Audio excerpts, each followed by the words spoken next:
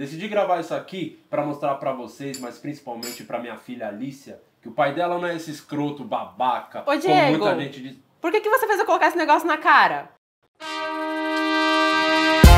Como é que eu tô sendo processado, Borg, se eu não tô fazendo a porra de um show? Sou Alessio, advogado do dia há quase quatro anos. Eu não posso mais representar vocês, é isso. Eu já perdi muitos processos. Perdeu a maioria dos processos. Todos os processos. Todos, na verdade, né? todos. Tudo bem.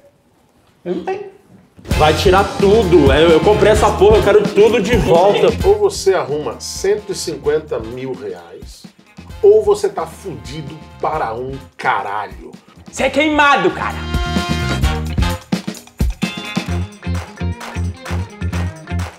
Hoje temos uma reunião importante com o pessoal da Netflix. Os caras não param de ligar. A Netflix nunca nos ligou. Como é que você tem tanta certeza que vai fechar mesmo o contrato com a Netflix? Posso ter muitos defeitos. Muitos. Bastante. né? Posso ter. Mas se tem uma coisa na qual eu me orgulho muito, o Alex sabe disso. É que quando eu decido aloprar um amigo, eu vou até o fim. Porque do Quatro Amigos o, Afonso Padilha já tá lá, Thiago Ventura já tá lá, e só eu e o Márcio Donato que ainda não. E seria muito importante pra mim entrar na Netflix antes do Márcio. Eu vou estar na Netflix! Você vai estar na E o Netflix. Márcio? O Márcio não vai E eu? estar. Eu quero ver a frase, Você o vai Márcio não estar. vai estar O na Márcio não vai estar na Só Netflix. fala isso, o Márcio não vai estar na Netflix. O Márcio não vai Então estar na vamos Netflix. pra Netflix, Alex. A gente vai pra Netflix.